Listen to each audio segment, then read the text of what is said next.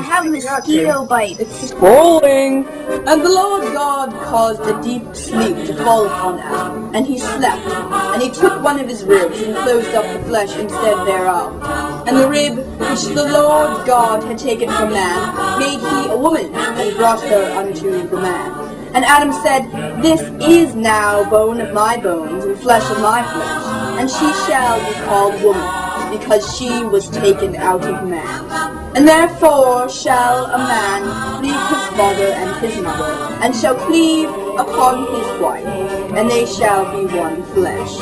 And they were both naked, the man and his wife, and they were not ashamed.